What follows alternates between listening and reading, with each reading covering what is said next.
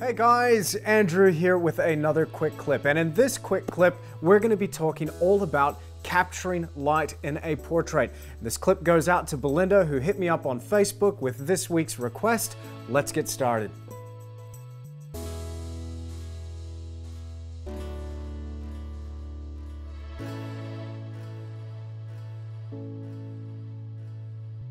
So I've got three tips for capturing light within the portrait. And the first one has to do with actually setting up the right scenario from the outset. Of course, it helps making a live sketch, but when I'm posing the sitter for the portrait, I'm taking light into account right from the start.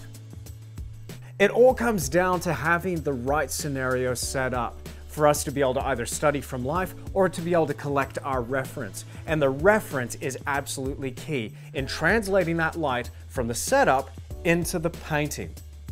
So my first tip here for you is to get really quality reference material that exposes for both the highlights and the shadows. Sometimes when we photograph our subjects, the camera's only exposed for one aspect of the face, either the highlight or the shadow. So we must make sure that we take both into account to be able to translate that information effectively into the final painting.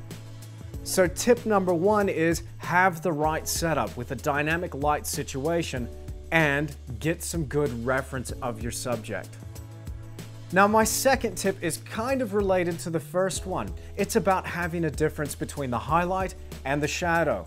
Now for me, often this is a color temperature difference. So we're not talking so much about a tonal contrast here, but a color temperature difference between our highlights and our shadows. With my portrait of Russell, he was sitting under a very cool skylight, which in turn made the shadows feel a little bit warmer by comparison. With my painting of David, he was sitting under a cool skylight as well, but I also balanced this out with a spotlight halogen bulb that was casting some really hot light across the face.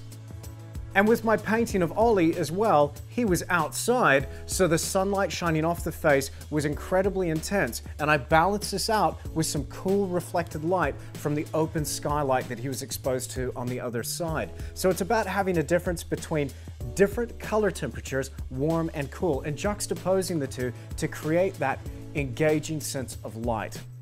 And for my third tip, in capturing light within a portrait, it's all about contrast. We must have a difference between the light and the dark in terms of our tonal contrast.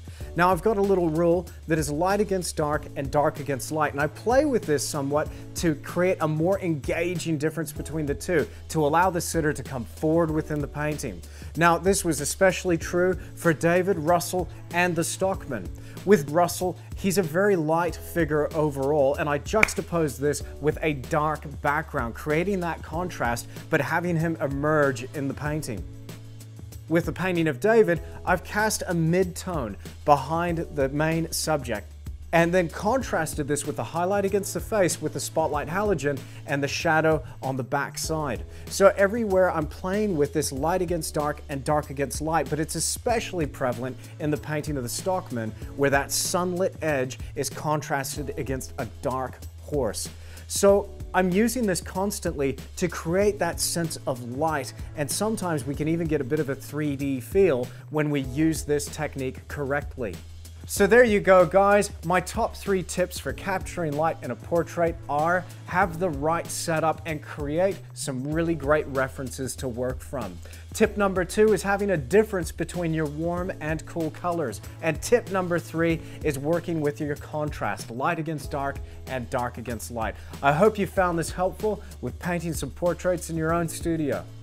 Now, people who subscribed through my website have had access to bonus clips, of which I sent out three this week, all about painting portraits. We talked about the live sketch scenario, we've talked about how to create a three-dimensional effect within a painting, as well as some detail techniques. If you'd like to be a subscriber, it's really simple and it's free. All you gotta do is go to www.andrewtischler.com, fill in the little form on the painting tutorials tab, and you're there. As a subscriber, you're also gonna have access to a bonus giveaway of the Stockman in full for free when you purchase my latest How to Paint Portraits DVD. Now my how to paint portraits tutorial of the sculptor and the paint maker and the bonus giveaway of the Stockman are over five hours of combined information helping you paint portraits. Imagine having my 13 years of experience as a professional artist there with you in the studio as you tackle your next portrait. But you gotta be quick because I'm only gonna be offering the Stockman as a free giveaway for a strictly limited time. So again, to get your hands on that free copy, make sure you're subscribed through www.andrewtischler.com and I'm gonna put that link in the description below. Well, there you go, guys. I hope you found this useful. If you like what you saw, hit that like button. If you want to come back for more, make sure you're subscribed. And as always, you can find me on Instagram and Facebook. But also, don't forget to subscribe for bonus content and bonus giveaways through www.andrewtischler.com. And make sure you share this video if you enjoyed what you saw here. I'll see you again next time.